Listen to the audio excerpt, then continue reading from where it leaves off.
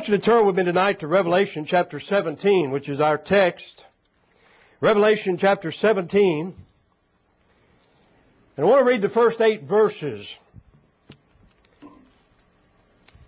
Revelation chapter 17, first eight verses. I want to preach tonight on the Roman Catholic Church, past and present. Roman Catholic Church, past and present. Revelation 17 is one of the amazing prophecies in the Word of God. And one of the reasons that we believe that the Bible is the Word of God is the fulfilled prophecies. There's no book in the world like this book. Revelation 17, and there came one of the seven angels, which have the seven vials, and talked with me, saying unto me, Come hither. I will show unto thee the judgment of the great whore that sitteth upon many waters with whom the kings of the earth have committed fornication. The inhabitants of the earth have been made drunk with the wine of her fornication. So he carried me away in the spirit into the wilderness. And I saw a woman sit upon a scarlet colored beast, full of names of blasphemy, having seven heads and ten horns.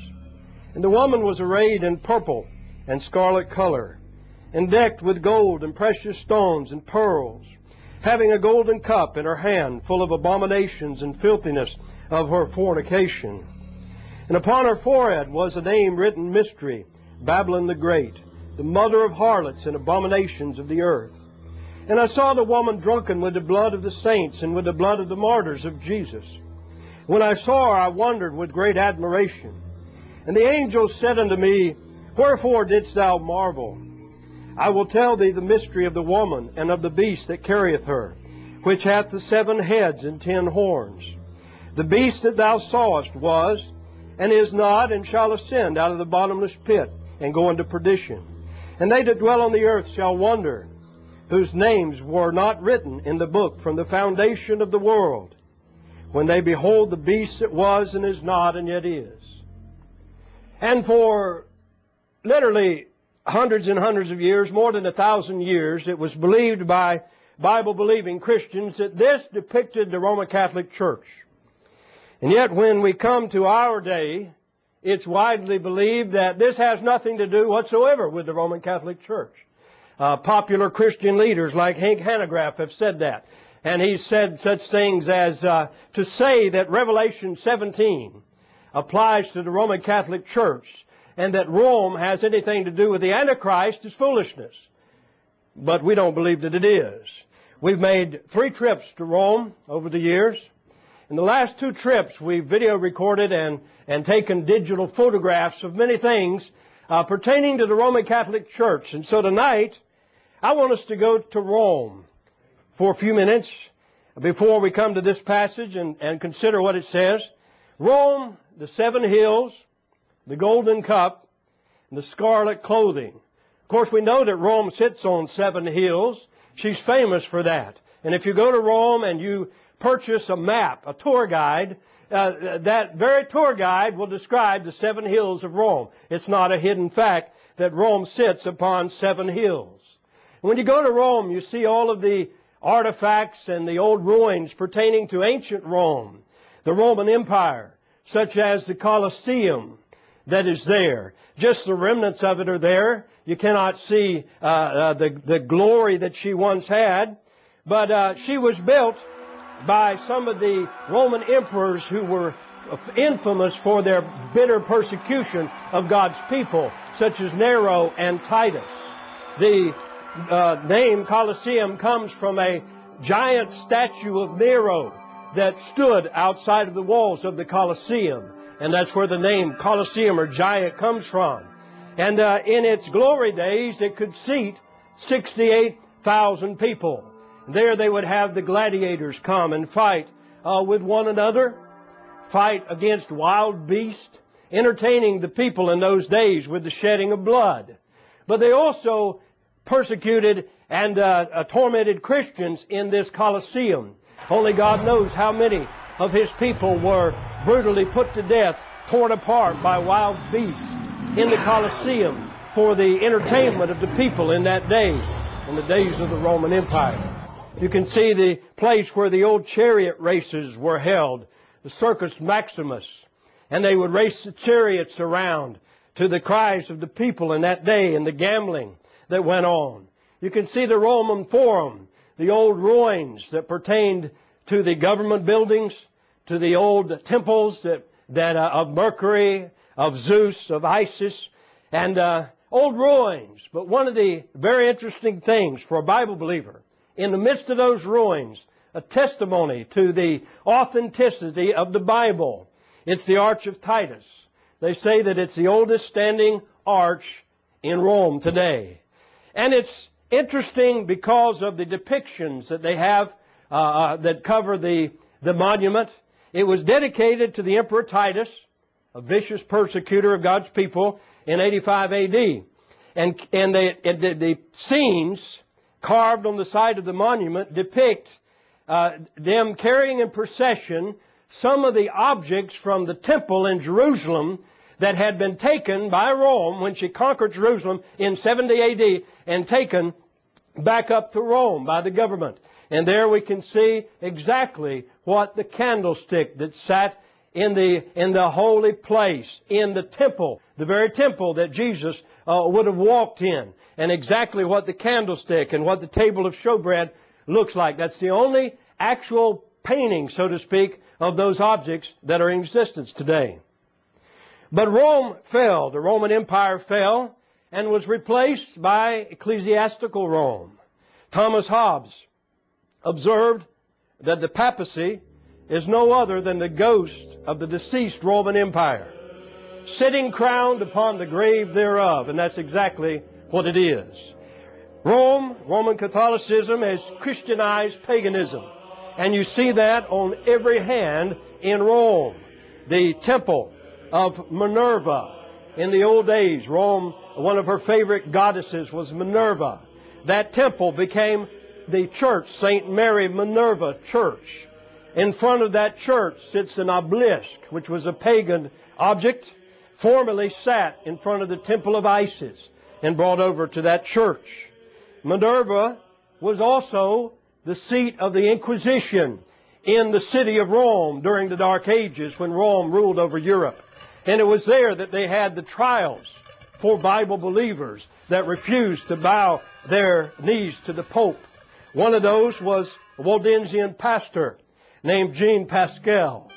He lived in Geneva, was educated in Geneva, and uh, he was sent on a missionary journey down to southern Italy in 1558.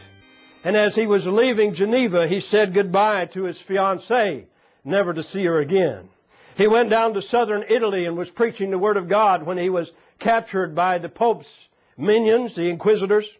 He was carried back up to Rome and imprisoned in a dark cell, taken out into the public arena in 1560 in September, and burned to death as the Pope watched and rejoiced as his heretic was put to death. And that's only one of multitudes and multitudes. Uh, their blood was shed by the Roman Catholic Church in those days. Inside that church, St. Mary Minerva, uh, Brother Snyder had an interview with a Catholic priest. And that Catholic priest said, I am a Hindu. Brian said to him, his name is Patrick, do you have to be a Roman Catholic to go to heaven? And the priest answered, that, that, that, that there is no reason whether I'm a Catholic or whether he's an Hindu or whether he's a Muslim, whether he's a this. That God has given to each one his own. In that church, we have the burial place of one of Rome's saints, Catherine of Siena, buried there. There's a painting that depicts her in her supposed glory, which depicts the, the doctrine of sainthood in the Roman Catholic Church, that certain specially holy people become saints and are literally glorified uh, by the Roman Catholic Church. They're pronounced saints by the Pope. And there, St. Catherine is depicted uh, with her feet over all of Europe. She's the patron saint of Europe. And uh, surrounded by angels, glorified literally. Rome got its doctrine of Mary from the pagan religions. It's very obvious. There's nothing in the Bible about Mary being the Queen of Heaven. Nothing in the Bible, not a hint that we should pray to Mary. Not a hint that Jesus is to perpetually be a little baby. Not a hint that Mary is a perpetual virgin or anything like that. Where did these doctrines come from? Not from the Bible, but from pagan religions. Many ancient pagan religions had similar doctrines to that that Rome has of Mary today, like Isis. She's depicted as holding her little baby God, Horus. This picture was taken in uh, Europe in a museum that we visited in Europe a few years ago. And here's Mary with her little baby. She's also crowned. In the Vatican Library, there's a painting of Isis, clothed in blue, looking almost exactly like the depiction of Mary that we see in this, this Catholic church, crowned with the crown. In Rome, you see many of the confessionals, and many of them are in operation. When the priest is there waiting for someone to come and to confess his sins, a light is on. Here we see a priest waiting for someone to come. He sits in the place of God. The Bible says we're to confess our sins to God. Only God can forgive our sins because of the blood that Jesus shed on the cross. And no man can do that, but the Rome's doctrine is called auricular confession, and that means confession into the ear. And the priest sits there with his ear next to a screen that has holes in it. And the confessor can literally confesses his sins into the ear of the priest and seeks his absolution for that sin. The most famous church and the most important church in Rome is not the Vatican. It is St. John Lateran. And this is where the popes lived for centuries until the 14th century. And carved on the front of that church in Latin, but translated into English, are these words Most Holy Lateran, church mother and mistress of all churches of the city and of the world, and that's exactly what Rome believes. That she is the head of every church in the world. By natural right, by right of God, she says that she is the head of this church tonight. All churches of the city and of the world. And when Rome talks about ecumenism and coming together, she only means one thing, coming back into the bosom of Rome. The headquarters uh, for the popes were there until the 14th century. This church is famous for the Cadaver Synod. And Pope Stephen VI dug up his predecessor, Pope Formosus, and charged him with heresy. Guess what the outcome was, since he couldn't answer for himself? The oldest baptistry in Rome is in this church. It's ancient, going back probably to the days of Constantine. And it's a very interesting thing. It's a large pool originally. But in the center of that, today, there's a little baby font where they sprinkle babies. But originally, it was a large pool. Notice how deep it was, more than uh, past my waist, which, of course, there's only one reason you would use a baptistry that big for, and that's immersion. And that, of course, was the original baptism. Baptism in the Bible means burial. It means immersion. It means nothing else. And then eventually they corrupted, perverted the doctrine of the Word of God and replaced it with man-made traditions sprinkling little babies. Outside of that church, there's a obelisk that once stood at the temple of the sun. Yeah, what were you saying though about the pagan symbols?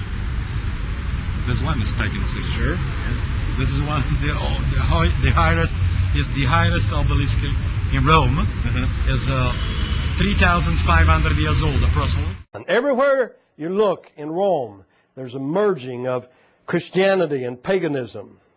The pillars of the altar in that church once belonged to the temple of Jupiter. Across the street from St. John Lateran are the holy stairs. And the myth is that these stairs were brought from Jerusalem by angels. And that Jesus actually walked on these stairs when he was tried by Pilate.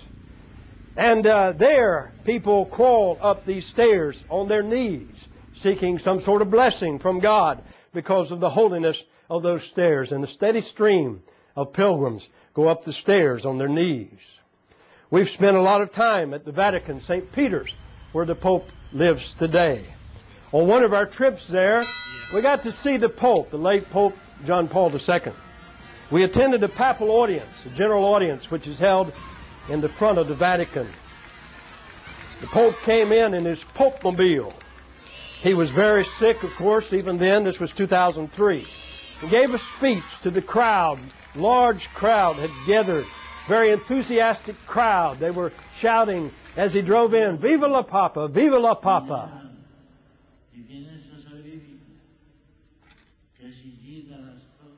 The Vatican, by the way, has a dress code that's a better dress code than a lot of Baptist churches have today.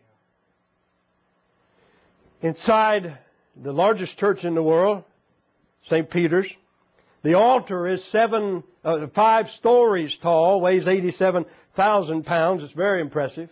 Massive, massive thing. It's a very impressive architecture, of course. The statue of Peter is there. It has a silver foot. A steady stream of pilgrims come along and kiss its foot. It's thought that this was once the statue of Jupiter that was Peterized, I guess. But this is an original statue of Jupiter. Looks a lot like Peter to me.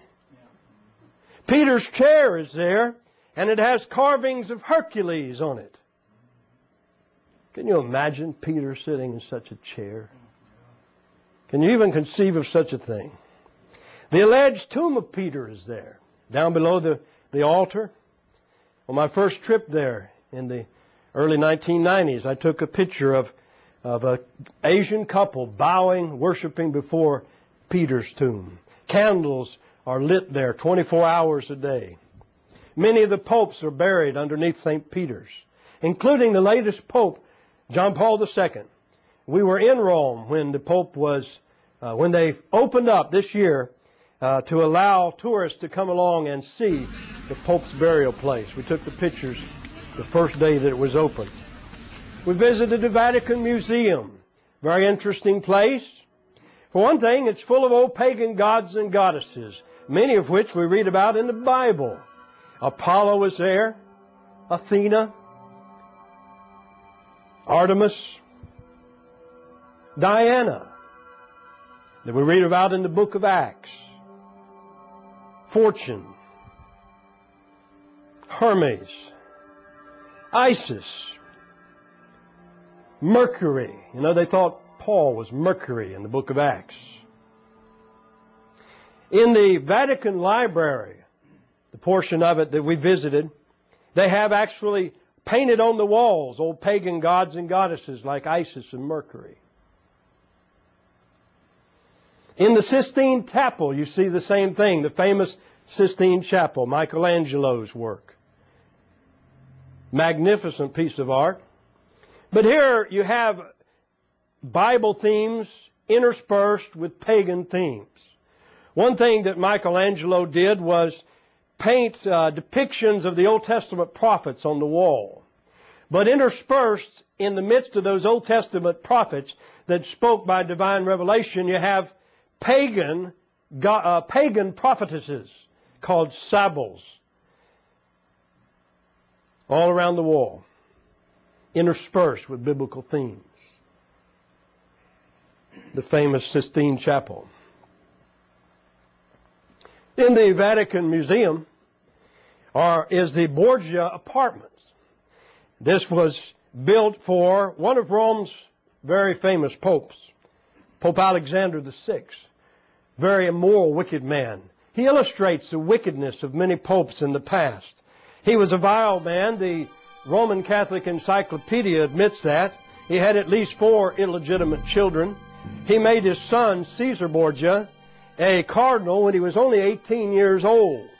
Caesar was also an immoral, violent man, so much so that he had his brother put to death. He had his sister's husband put to death.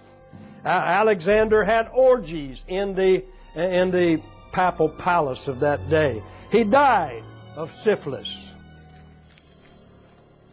You find in Rome Trevi Fountain, very famous tourist attraction. On top of Trevi Fountain, over above it, are the symbols of the Pope. You have the tiara, which is the papal crown, and the keys of Peter. That's the papal symbol. But underneath, Trevi Fountain is a depiction of Neptune, the, the pagan god Neptune, driving his horses out of the sea. Not exactly what Bible verse is that out of? Triton Fountain depicts the same thing.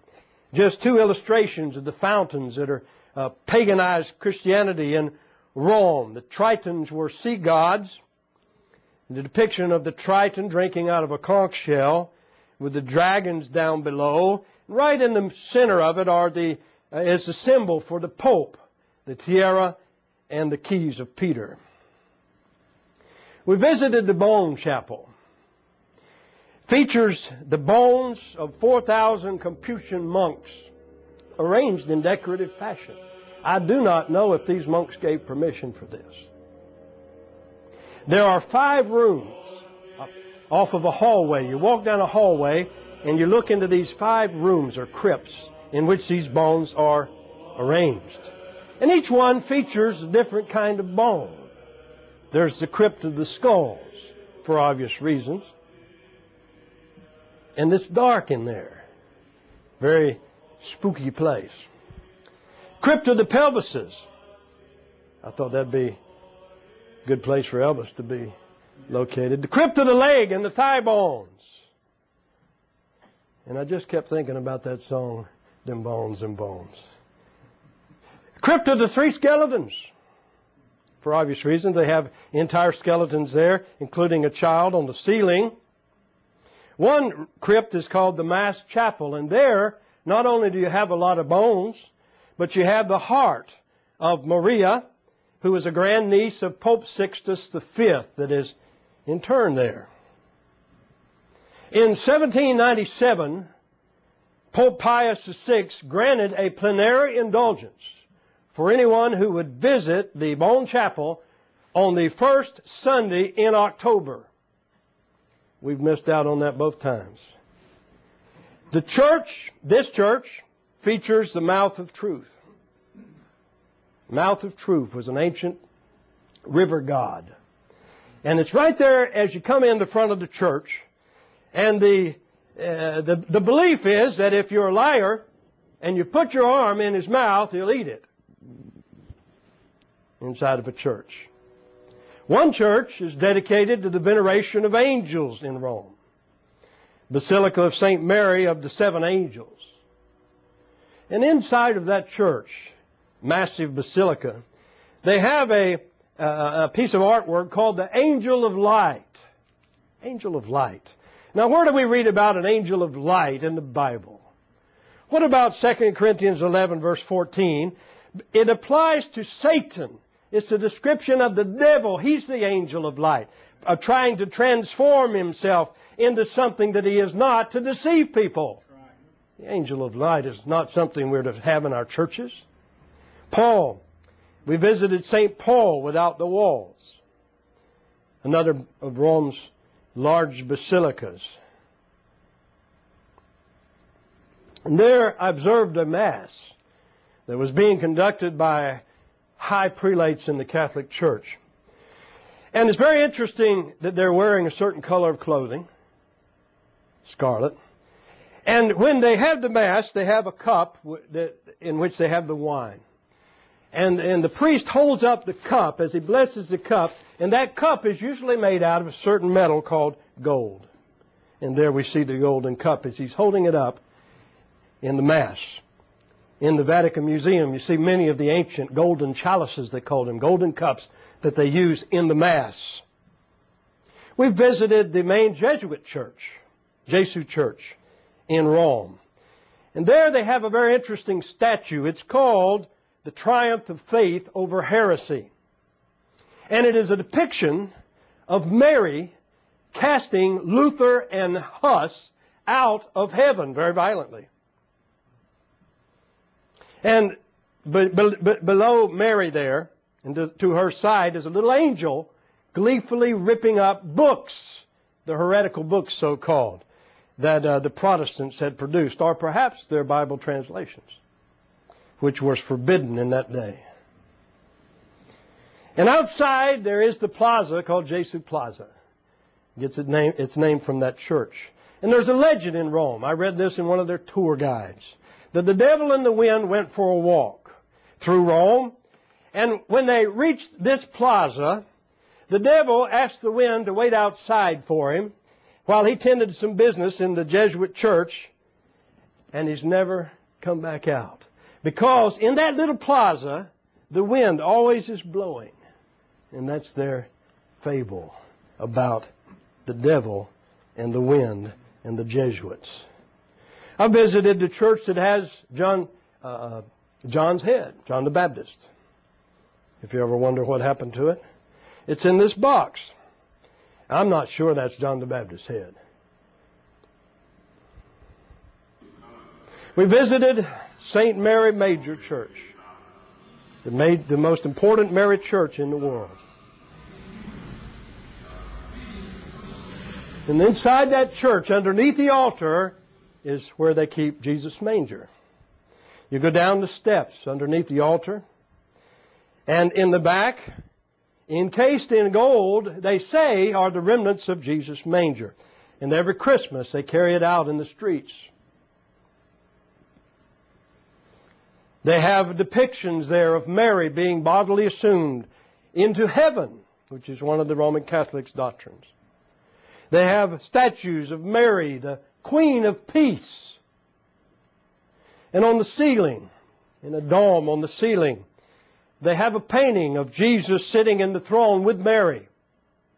And Jesus crowning Mary, the Queen of the universe. The blue orb that surrounds them is a depiction of the universe. Mary, the Queen of the universe, crowned by the Lord Jesus Christ. But outside the church, you find a large crucifix about 15 feet high. And on one side is Jesus hanging on the cross. But on the other side is Mary hanging on the cross with her little baby Jesus. And that is Roman Catholic doctrine. Uh, uh, John Paul II believed that Mary is the co-redemptress with Jesus Christ, the co-mediatrix with Jesus Christ. Most holy Theotokos, save us to the healer of all mankind hast thou given birth. Rejoice, O bride of God. Thou art the mystical rod,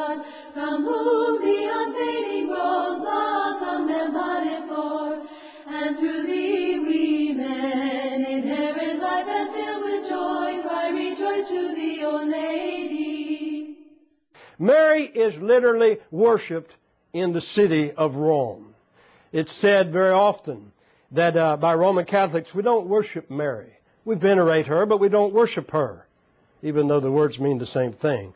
But Saints Vincent and Anastasius Church, right across from Trevi Fountain, inside there's an altar to Mary. And there is a plaque there with these words. Pope Innocent the Eleventh initiated, these are the exact words on the plaque inside the church, the worship of this image. John Paul II was a great Mary adorer. And in May 1997, he said this, Marian worship, those were his words, Marian worship in the ecclesial community is based on the will of Christ. Mary is the path that leads to Christ. Rome. Now, in Revelation 17, I am confident that this passage depicts the Roman Catholic Church. It, it depicts more than the Roman Catholic Church. We know that it will not be fulfilled completely until the days that lie before us during the Great Tribulation. But uh, you would have to be blind not to see Rome in this passage. I believe that, the, that this passage and the application of this passage, the woman on the beast, is similar to that of the Antichrist. And in fact, she's aligned with the Antichrist. But in 1 John 2.18, we see that there's two aspects of the Antichrist. There's a present aspect of the Antichrist. Today, the Antichrist exists in a certain way, but there's also a future aspect. 1 John 2.18, little children, it is the last time. He's speaking 2,000 years ago. It's been the last time for 2,000 years. And as ye have heard that Antichrist shall come, the one man, Antichrist singular, shall come during the days of the tribulation, just preceding the coming of Christ. Even now are there many antichrists, plural, now, right now, in the world, whereby we know that it is the last time. And so, John is telling us there's two aspects to the Antichrist, present and future. And I believe that's exactly what we find pertaining to the woman riding the beast in Revelation 17. There's a present fulfillment of it, and you can see that most, uh, uh, most clearly in the Roman Catholic Church, and yet there's an ultimate future fulfillment of this during the tribulation. And it's interesting that in 1825, Pope Leo XII struck a medal, bearing on one side his own image, of course, but on the other, a depiction of the Church of Rome symbolized as a woman, and in her right hand, a cup. And it had this legend underneath in Latin The whole world is her seat. Well, it's, it's very evident that her location identifies her with Rome in verse 9. And here is the mind that hath wisdom. The seven heads are seven mountains on which the woman sitteth. Seven mountains, the seven hills of Rome. I don't know any other headquarters of, uh, uh, of a religious entity that claims the name of Christ. It sits on seven mountains other than Rome. Her character certainly identifies this woman with Rome. We see her character in verse 1. She's described as a whore. And that is true of Rome, both spiritually and literally. And it has always been true of Rome. Roman Catholic Church has been associated with immorality throughout her existence. Her popes and her priests have been wicked. The Catholic Encyclopedia itself admits that many of the popes were reprobate morally. And uh, we've seen one of them already, Alexander the Sixth, but that's just one example of many that we could give tonight. Pope Julius II had at least three illegitimate children. Pope Sixtus IV erected a house of prostitution in Rome. Pope Pius II had two illegitimate children. Pope Innocent VIII had at least two illegitimate children that he raised to positions of, of power and wealth in the Roman Catholic Church. Pope John the Twelfth was, is described in the Catholic Encyclopedia as a coarse, immoral man whose life was such that the Lateran Palace was spoken of as a brothel. When Luther, before he was saved, before he was converted by uh, faith uh, alone in Jesus Christ, visited Rome, expecting to find the very seat of holiness and godliness in this world. But when he left, and later on, this is what he said, if there be a hell, Rome is built over it.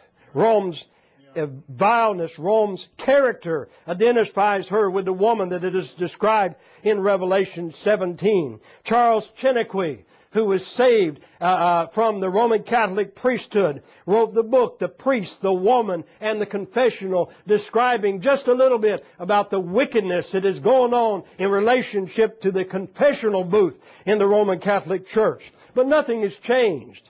In 2004, a study in the United States of America found 11,757 cases of abuse involving 5,148 priests.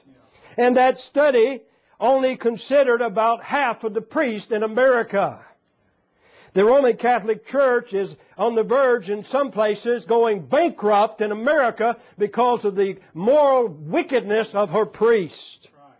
The Archdiocese of Portland and Tucson filed bankruptcy last year because of the vileness of her priest. Her character identifies her with Rome. Her worldwide outreach identifies her with Rome. In Revelation 17:1, we read that she's a great whore that sitteth upon many waters. And the Bible is a self-interpreting book, and that is interpreted for us in verse 15. And he saith unto me, The waters which thou sawest where the whore sitteth are peoples and multitudes and nations and tongues. And there's no place in this world that we can go uh, uh, to avoid Rome's influence. She is everywhere. in the farthest regions of the world, in places like Kathmandu, Nepal. She is there. Out in the villages, she is there. Her worldwide influence was depicted at the funeral of John Paul II in April of this year. In, uh, I was in London, England at that time doing some research into the history of the Bible. And the front page of the Evening Standard of London was emblazoned in these words, united by the Pope. One of the nuns that was interviewed that had attended Pope John Paul II's funeral said this, the entire world is here. John Paul tore down the walls of countries, of classes, of religions. The Pope's funeral was seen on television by an estimated 2 billion people. Are 2 billion people ever going to watch the funeral of a Baptist pastor? No. It was the first papal funeral attended by 200 world leaders. At least 70 presidents and prime ministers were there to honor the Pope of Rome. It was the first papal funeral attended by the Anglican Archbishop of Canterbury, the first one attended by a British prime minister, the first Pope's funeral that was attended by a future monarch of England, Prince Charles. It was the first papal funeral that was attended by presidents of the United States. Before the papal casket, President of the United States bowed. The first papal funeral to draw an entourage of current and two former presidents of the United States. Her worldwide influence identifies her with Rome, but also her unholy effect upon people identifies this woman on the beast with the Roman Catholic Church. We see in verse 2 here of Revelation 17 with whom the kings of the earth have committed fornication. And the inhabitants of the earth have been made drunken with the wine, drunk with the wine of her fornication, drunken with the wine, her unholy effect upon men, the very opposite of the effect that Jesus Christ is supposed to have upon men, which uh, uh the very opposite of what the gospel has upon men, to, to turn drunkards into sober men, to turn drug users into sober, uh, upstanding citizens. But Rome has the very opposite effect. Apostate religion allows men to continue in their sinful pleasures while having a form of religion to soothe their guilty consciences. You can see that in the mafia. You can see that in Hollywood movie stars. You can see that in Roman Catholic politicians. You can see that in Catholic countries around the world. Wherever Rome has real, real control, there is no real biblical morality there. That's why it's so ridiculous to think that Bible believers can get together with the Roman Catholic Church to bring morality to America. Rome has never brought morality anywhere. Her unholy effect upon men identifies her with Rome. Her illicit relationship with civil government identifies her with Rome. In verse 2, we see that she's aligned with the kings of the earth. Jesus Christ said, I will build my church and the gates of hell shall not prevail against it.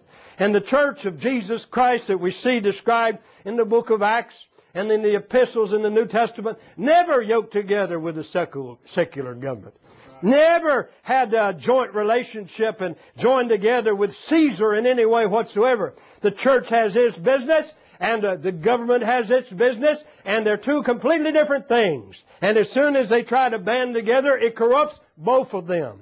But Rome has always been yoked together with the kings of this earth. In fact, there was a time for hundreds of years when she ruled over the kings of the earth.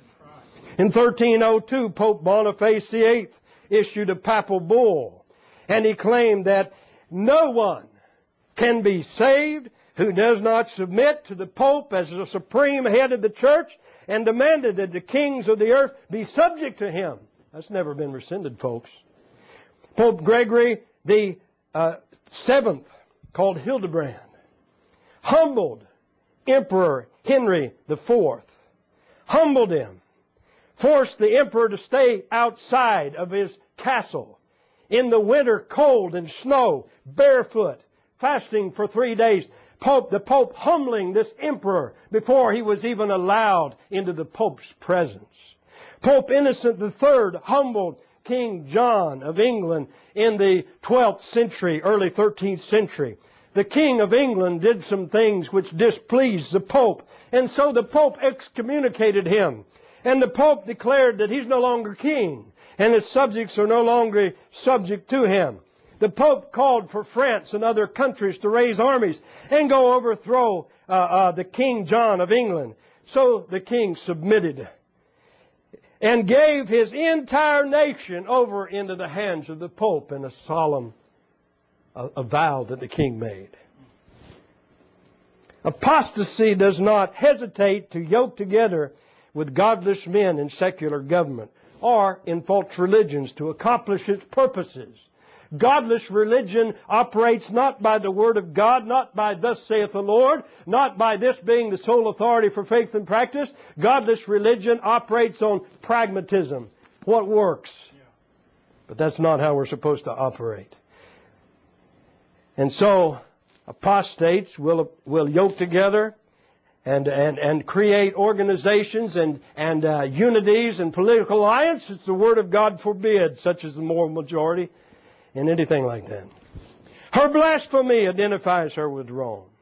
In verse 3, we're told that she's blasphemous. In fact, she's full of the names of blasphemy. Here is a, a religious institution that's being described. A religious institution. And yet, full of the names of blasphemy. What about the titles of the popes? What are some of their titles? One of them is Holy Father. And yet they're not supposed to be fathers. They're not married. And they're certainly not holy. No man is holy. No man can take that name but Almighty God. Holy Father is the name of God. One of the names of the Pope is His holiness. There's only one that can bear that name, and that's Almighty God. Jesus Christ is His holiness. One of His names is the Vicar of Christ the representative of Christ. But that is the title of the Holy Spirit who's come down from heaven into this world to represent Jesus Christ at this particular time. Rome's priests, when they're ordained, they literally lie flat on the floor in front of the bishop that's ordaining them, and they are ordained after the order of Melchizedek. Anyone familiar with the book of Hebrews knows that there's only one man that fits that that can possibly be ordained after that order, and that is Jesus Christ. Blasphemy. Blasphemy. What about Mary being crowned the Queen of the universe? What about Mary being called the Queen of Peace? There's only one Prince of Peace, but there is no prince, Queen of Peace sitting in Christ's throne. What about Mary hanging on the very cross with Jesus? Blasphemy. Her clothing identifies her with Rome. In verse 4, even her clothing is described. She's arrayed in purple and scarlet color. That's amazing because only one religious institution that names the name of Christ today clothes itself in scarlet and purple, and that's Rome. We saw that tonight in some of the pictures that we've taken of the masses. Her wealth identifies her with Rome. Her wealth is described in verse 4. She's decked with gold and precious stones and pearls. Her wealth. That certainly doesn't describe independent Baptist churches. I've preached in independent Baptist churches in many parts of the world. I've never seen an independent Baptist church that, uh, that this describes, not even close. But it describes Rome. She grew wealthy through the tithes that she collected. She grew wealthy by the doctrine of masses for the dead. She grew wealthy through the indulgences that she sold and still sells. Now, that's how the Vatican was built in the days of Luther. She grew wealthy during the Inquisition when the inquisitors were allowed to confiscate the property of those that they arrested and put to death. Her wealth identifies her with Rome. Her cup identifies her with Rome. Her cup is described also in verse 4 as a golden cup in her hand. Golden cup Of course, there's only one place in the New Testament that a cup is described, and that's pertaining to the Lord's Supper. And in the Lord's Supper that Jesus has given us and instituted for us in the Word of God, we take the bread, which depicts and typifies His body, and then we break it typifying his body that was broken for us. And then the cup in which the, the juice of the grape is there, symbolizing the blood that Jesus shed for us on the cross. A simple memorial meal reminding us of the gospel of Jesus Christ and all that He's done to save us from our sins. But Rome has taken that simple memorial meal and corrupted it into this, this pageantry called the Mass. And Rome has a cup that she uses in the Mass. And until recent years, it was required that the cup of the Mass, which only the priests drink from, the people only take the wafer, but which the priest drank from and which has the wine in it, was required by Catholic law to be gold, or at least gold plated. And until this day, the papal chalice is always made out of gold. Her cup identifies her with Rome. I've taken the Lord's Supper in many independent Baptist churches around the world. And I've never seen a golden cup. I've seen plastic. I've seen wood. I've seen ten, But I've never seen a golden cup. Her abominations identify her with Rome. Verse 4, her cup's full of abominations and filthiness of her fornication. And uh, what about her love affair with bones? To mention only one abomination. Bones are supposed to be buried, not decorate the ceilings of our churches. Her love affair with bones. Her associates identify this woman with the Roman Catholic Church. In verse 5, we read that she's a mother. And upon her forehead was a name written Mystery Babylon the Great, the mother of harlots. Mothers have daughters. Rome has many daughters. The Protestant denominations in the 15th, 14th, 16th, and 17th centuries split away from the Roman Catholic Church and went away from her, not far enough, not all the way back to the Word of God, not all the way back to the New Testament pattern, but they went away from her. But today they're going back, becoming reaffiliated with Rome. The Church of England is going back to Rome. The Methodist churches are going back to Rome. The Lutheran churches are going back to Rome. Presbyterian churches are going back to Rome. Evangelical, the very term, means Protestant. And today they're realigning themselves with the Roman Catholic Church. Just look at Billy Graham throughout his long ministry and life, affiliating closely with the Roman Catholic Church, repeatedly uh, making pilgrimages to the Vatican to literally meet with the popes.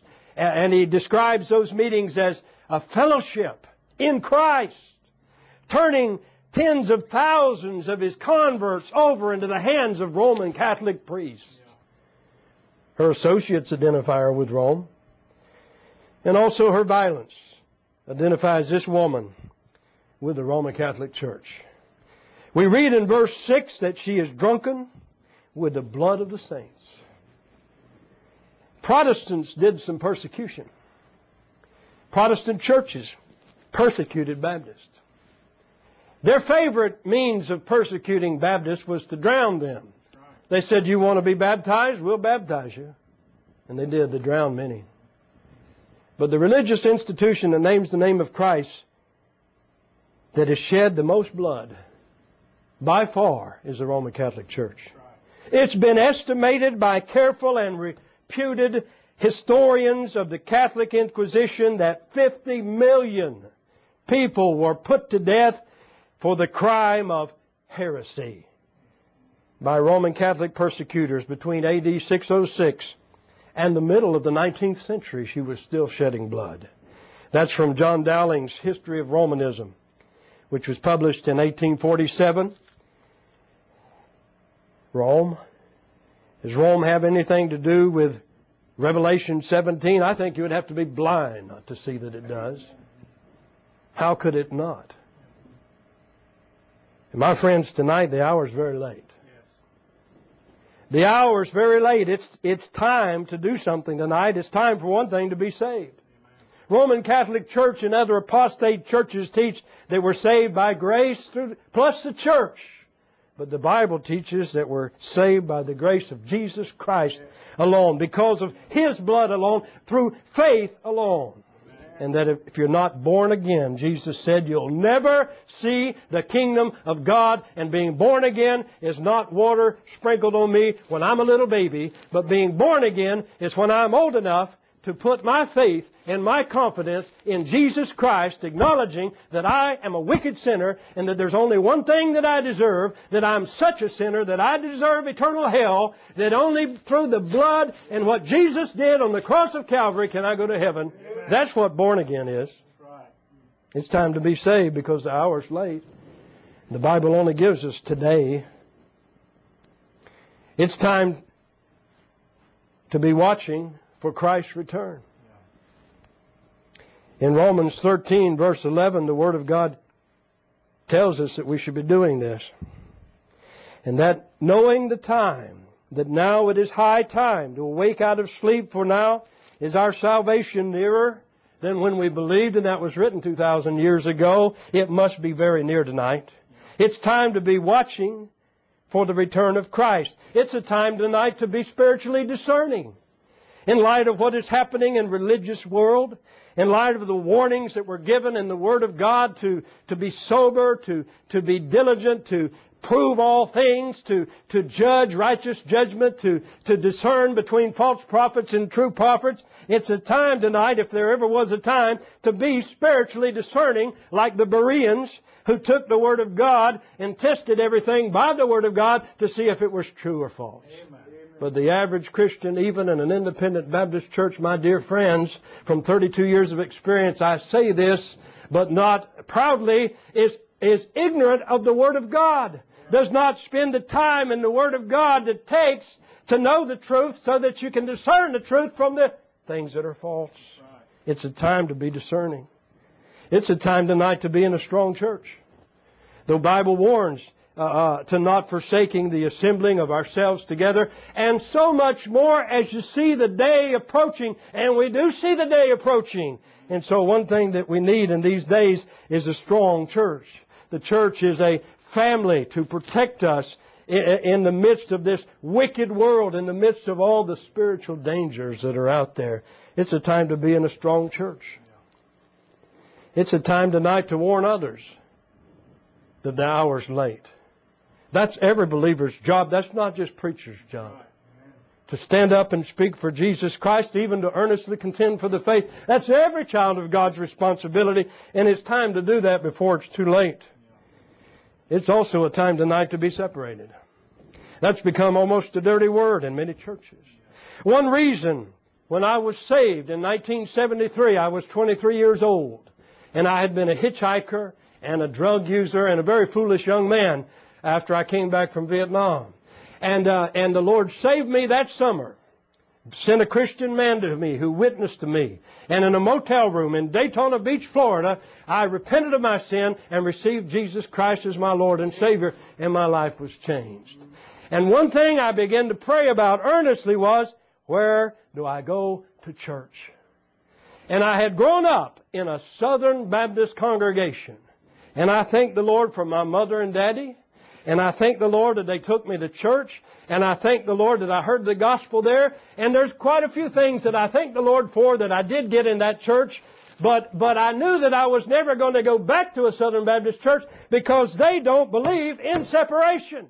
And the Word of God commands it. It's not an option. It's not a suggestion. It is commandment. In Romans 16 verse 17, for example, the Word of God says, Now I beseech you, brethren, mark them which cause divisions and offenses contrary to the doctrine which you've learned and avoid them. That's not hard to understand. You don't have to go to the Greek to understand that. Avoid means stay away from them. Avoid means if you see that they're teaching contrary to the Word of God, don't go to their churches. Don't go to their Bible studies. Don't read their books that you find in the bookstore. Don't listen to them on the radio and television. Avoid means avoid. It's a time to practice that because separation is a matter of protection from spiritual danger. It's not a hateful thing. It's not a mean thing. It's not an unloving thing. God is not trying to take away from us something that will uh, uh, be a blessing to us. God is trying to protect us from spiritual dangers. The same reason that we try to protect our children from wicked men. The Word of God warns that a little leaven leaveneth the whole lump. The Word of God says, be, uh, be not deceived. Evil communications, associations corrupt good manners, good Christian living. And it does. Any church, any preacher that speaks well of Rome today is disobedient to the Word of God and should be avoided on the authority of the Word of God. And that includes Billy Graham, Franklin Graham, Bill Bright, Campus Crusade for Christ, Chuck Colson, James Dobson, Elisabeth Elliot, Jerry Falwell, Bill Hybels, D. James Kennedy, uh, J.I. Packer, Luis Palau, the Radio Bible Class, Robert Schuller, John Stott, Joseph Stowell, Wycliffe Bible Translators, United Bible Societies, Bible Society of America, Jack Van Impe, Wheaton College, World Vision, Philip Yancey, Youth for Christ, and I could go on and on. Those that speak well of Rome, speak of her in soft terms, should be avoided because it's disobedience to the Word of God. We're to stand up for the truth. We're not only to believe the truth, we're to take a stand for it. That's what we see in the Word of God. Paul, every place you see Paul, you see him fighting for the truth. You see him taking a stand for the, uh, the doctrines of the Word of God, getting involved in doctrinal controversies wherever he went. Almost every epistle that Paul wrote, he was involved in some sort of doctrinal controversy for the truth's sake. We don't hate anyone. Baptists have never persecuted anyone. To my knowledge, I've studied church history pretty diligently. I have a massive library, a lot of rare old books on church history. Not once have I ever seen or read that Baptists persecuted anyone. We don't believe in that. When we talk about standing from the truth and separating from those that are uh, involved with false doctrine, we don't talk. We don't mean that we hate anyone. We don't mean that we wish ill on anyone. We simply mean that we want to obey the whole counsel of God. Warning and correction is not persecution. Rome, past and present. Let's pray. Father, we thank you, Lord, for the opportunity tonight to, to preach this message. I pray that you'd bless, Lord, uh, the Word of God that we've heard tonight to fortify our lives, Father, in the battles that we face today. And Lord, that whoever would hear this would be encouraged and strengthened uh, by the Holy Spirit. And we thank you in Jesus' name. Amen.